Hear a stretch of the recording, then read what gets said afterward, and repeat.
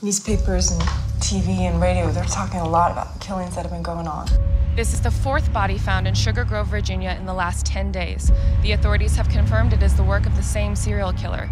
Sheriff Deputy Clarkson is on scene investigating. You know, we found a body right down the road. Right at the edge of your property.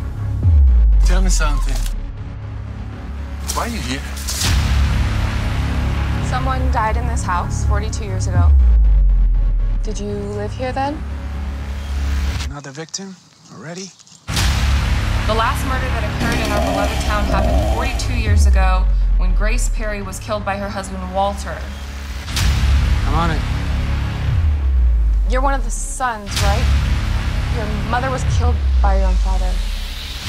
Whoa, whoa, I'm just a reporter. Come to visit?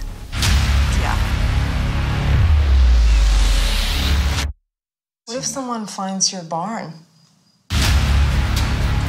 I'm not gonna let that happen. I want to make sure everything is okay.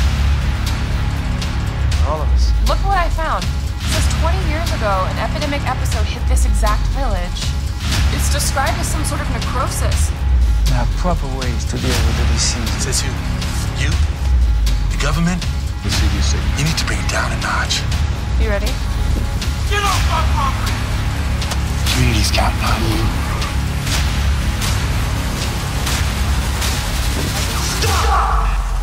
Last time we had a beer was when I took the deputy job. Yep.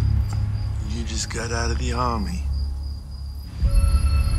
Never liked me being the military. I know that. It's not about you and the army. It's about what the army did to us.